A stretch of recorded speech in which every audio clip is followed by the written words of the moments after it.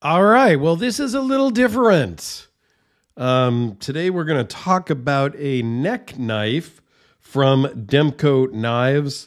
Um, comes in a little cardboard box, and I also have a an AD 20.5 Slim here just for comparison. I'll probably dive into this one and do a separate video because this is the first slim version I have uh, had the the opportunity to mess with. Aluminum scales, uh, you know, there's some stuff. We'll talk about that most likely in another video just because. This one is interesting. It comes to me from Alice over at Ali Paracord. She needs no introduction. There will be a link down below. You know the deals, right? Um, this this does not come with. Okay, this is something that Alice made. It is her new neck lanyard. So it's I don't know. It's not 550 paracord. It's something different. You know, whatever. It works really well. Looks cool. Um, it has this like safety pull apart clasp um, so that it, you don't get choked if this gets you know, yanked or whatnot. If you're going to struggle, you know, that kind of thing. So it does have safety built in. And you've got this knife, which is kind of cool. It's really cool for the price. It's 20 bucks. I, I, like, seriously? I, I know these are made in Taiwan, but how do you make just this package for literally being sold for 19.99 at Knife Center. I, I don't know how you make money at 20 bucks. So what does this cost them? Like a dollar 93 to to make? Like cuz there's got to be markup for Demko, There's got to be markup for Knife Center. Like you know, everybody's got to get their piece of the pie and step on it and get their percentage of whatever, that's a whole different topic. It's it's a cool little knife. Like that's like for 20 bucks, I think it's a good deal. Um it is just 40 34 stainless steel.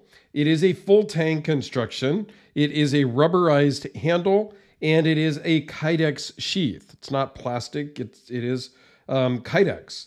So that's kind of cool. What it comes with is the the, the keychain ring, um, whatever you call it, split ring, um, and then it has like a keychain hook so that you can hook it to um, your belt loop, to your keychain, to you know whatever. Like you, that's what it comes with.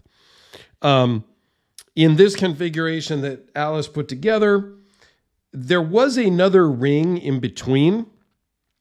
So forgive me, it, it got damaged. The retention is a little strong for me.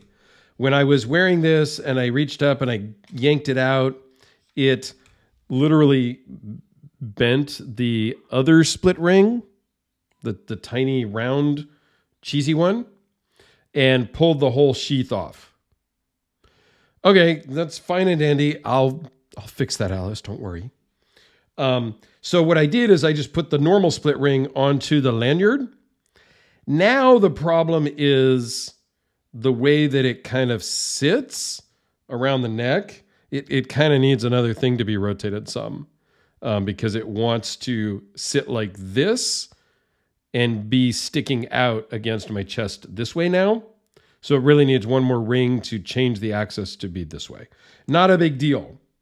However, again, the retention is a bit strong because oftentimes now, if I yank it, if I reach up slowly and kind of use my thumb and whatnot, it works fine.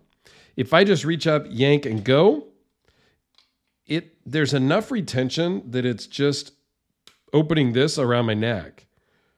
So I think the retention is too tight. There are no screws, so you can't really adjust it. I guess you could heat it up and then change it. Uh, it's not my knife.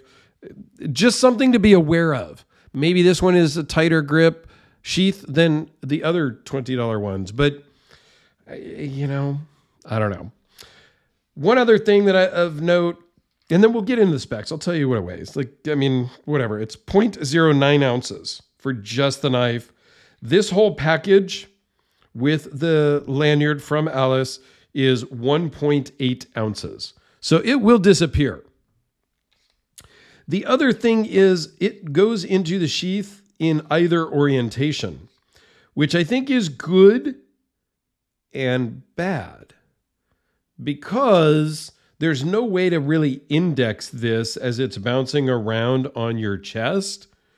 And you may go to grab it and it may be the opposite direction because there is no way to tell on the handle. The handle's totally neutral, both direction. Well, that now that I'm looking at it, that's not true. Well, I've been looking at it, but it is smooth on the edge side, and there is some texturing on the spine side. So you can now index it, I guess. I yeah. Okay, so I take back my earlier statement. You can tell the difference.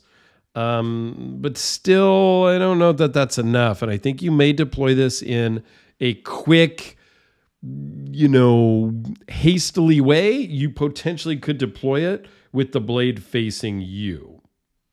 Okay. This is the uh, Armiger 2.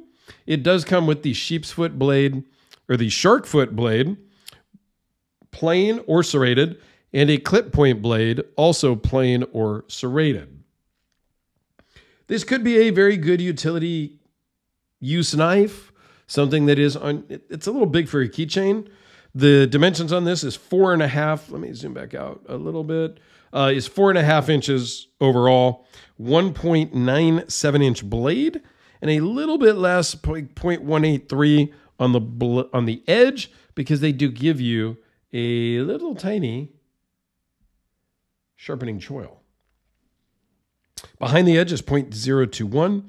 The blade thickness is 0.069. The overall thickness of the handle, it kind of swells. So it does feel okay in your hand. Right about here at its thickest is 0.7, uh, sorry, 0.478. It is a three finger knife. Like you're only going to get three fingers on the grip. So this is not like hard use. This is, um, you know, dare I say, last ditch emergency defense knife even though uh, I am not some ghetto knife fighter uh, or, or, anything like that. I think there are way better options. Um, the last thing I am ever going to do is get into a fight with a knife. I think that's just a silly, dumb idea.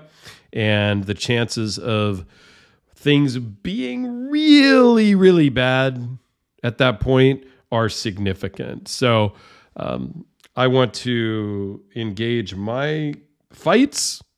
Well, never, because you never lose a fight you don't get into, if that makes sense. Um, I am much more into the de escalation, escape and evade type of situations. Um, yeah. So, but yes, you could use this as a last ditch effort if you want. It would be a good box cutter. It would be a good letter opener. It'd be a good, like, sitting on your desk at the office type of a thing. You know, for that, it, it's actually really good. I'm not a big neck knife person. I think I have one or two that I've owned throughout the years. Um, not something I ever carry, um, partially because I live in California and partially because I think it just mostly looks silly. But that's just me. Other than that, I think it's cool. And for 20 bucks, I don't know that you can go wrong. This would be a really good, like, I know it's late in the game. It's probably after Christmas by the time you see this. Good stocking stuffer, a good gift to ship somebody for 20 bucks. You, you can't go wrong. The blade profile is just like its bigger brothers. Um, so that's kind of cool how they did that. And yeah, you know, I, for 20 bucks, you can't go wrong. So, if you're interested in something like this, I'll put a link to Knife Center down below.